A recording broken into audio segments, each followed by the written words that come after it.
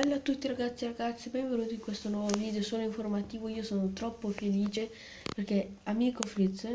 mi ha aggiunto al Leopass e ieri appunto abbiamo fatto il nostro primo video sul Leopass e uscirà presto credo.